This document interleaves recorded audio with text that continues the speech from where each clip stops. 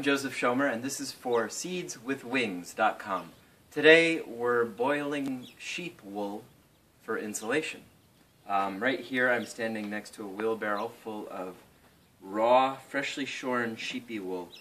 It's very dirty, uh, very smelly, has a lot of lanolin and vegetable matter and other stuff. Um, so come on over, I'll show you what we're doing. This is a fire pit that we built up. Um, I found this little door kind of laying in the dirt. Uh, it's an old iron door. It has some uh, some stabilizing pieces here, and I dug it up and kind of oiled the joints and scraped it out and built this fire pit around it. So you can put wood in here and put the pots on top of here and boil the water. Big flames under there, boiling already. and we we're putting the pots there to heat.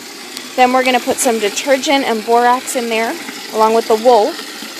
And then you can see how got nice big flames under there. Um, that one's already got some detergent in it. And then, with the wool heated, we will pour it all into this wheelbarrow, which looks really gross and smells too. smells like hot sheep. And it will cool there, and then we'll pour off the dirt.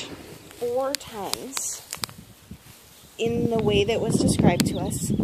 And it is so gross. It's still It's got very, plant matter in it. It smells sheepy. still smells sheepy better than it was. It's a lot cleaner, and there's some. I mean, there's some pretty clean bits like up here, but Let's see that. Pull that like up. look at that. Like that's Look at that. You can make a bad. make a little sweater I mean, for a mouse. it's still got of that. bits in it for a dirty mouse.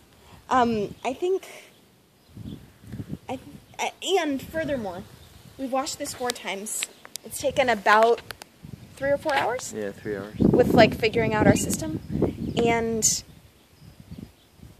it's probably like a hundredth of the amount we'd need to do for our whole house don't you Yeah, think but uh, yeah, maybe, maybe, like a sixtieth of the amount yeah, in any maybe case a sixty. i think this is the end of our wool washing um, This is the end. dreams My only friend. i'm done and and it's so i uh, Yeah. nauseous from Yeah. all the sheepy woolly smoke hot from sheep the fire smell that we had to do for the pots. Yeah, I think we're done. Yeah. I really don't recommend washing. All I'm right. done. Let's let's um Gotta rethink our insulation. yeah. I'm thinking denim.